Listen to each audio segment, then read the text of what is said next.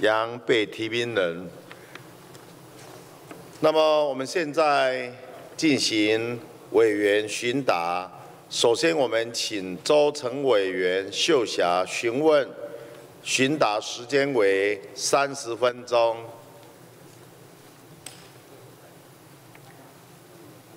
询答的过程，这个杨被提名人，等一下你可以请坐，没有关系啊。如果因为整天哦，你可以请坐啊。啊，回答的时候你站起来就好啊。好，来请。好，谢谢主席哈。呃，杨院长早哈。首先恭喜杨院长啊，被提名为大法官哦。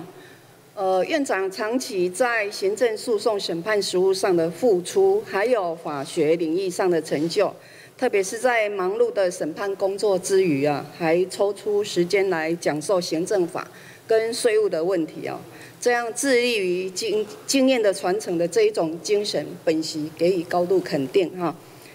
那首先我要呃，请问被提名人哦，就是如果你是大法官的话。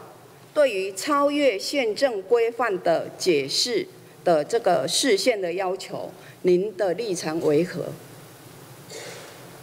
嗯，请问一下委员，呃，委员你好，请问一下委员，就是所谓超越宪政规范是指，呃，所指的意义是指，就是说你如果担任大法官以话的的话，哈，你对于这个超越宪政它的规。他的这个宪政规范的视线的视线的要求，呃，我认为大法官解释宪法啊，或者是呃，就是他的视线，这个宪法呢是包含中华民国宪法，还有中华民国宪法增修条文。那当然在解释的时候，我们除了要秉持这个宪法的意志之外，那因为在呃，当然有很多的宪法的原则，哈，也是在我们视线的时候要去一并去考虑的。那在视线呢，在理论上面呢，才把宪法的一些规范呢，它有把它分成所谓的宪律跟宪章哦。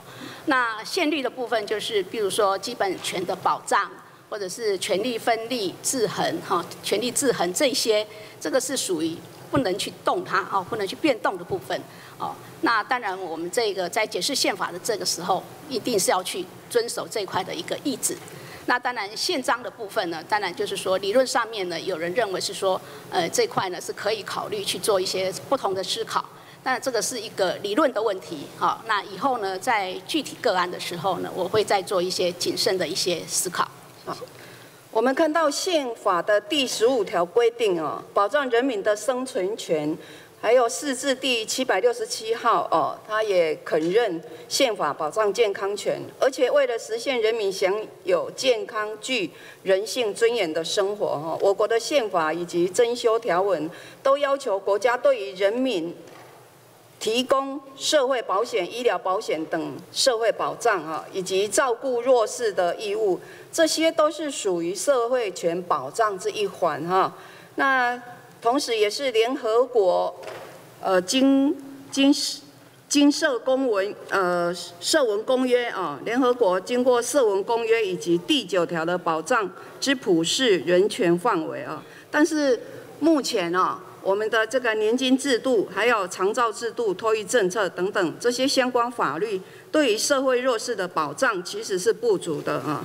长照跟幼托的公共化服务涵盖率还不到四四成啊，而且国民年金保险上路的时候，宣称要保障弱势者的老年经济安全，可是呢，却要求弱势者每月要缴交高额的保费。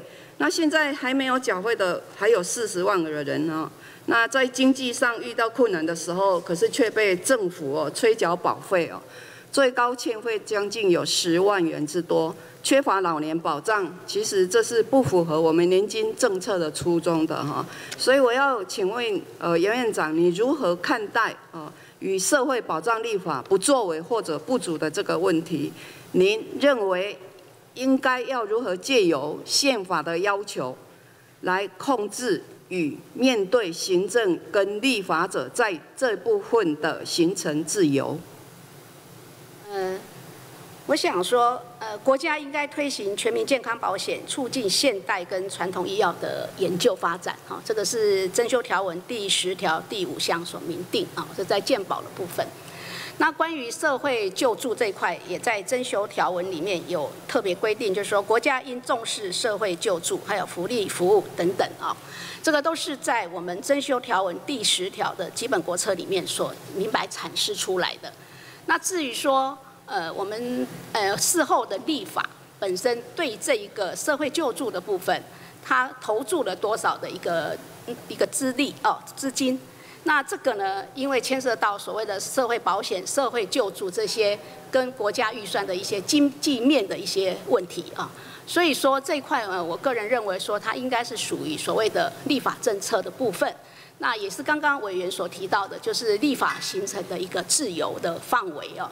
那当然，立法形成的自由是不是，呃，要不要去受到所谓的那个合宪性的一个审查哦？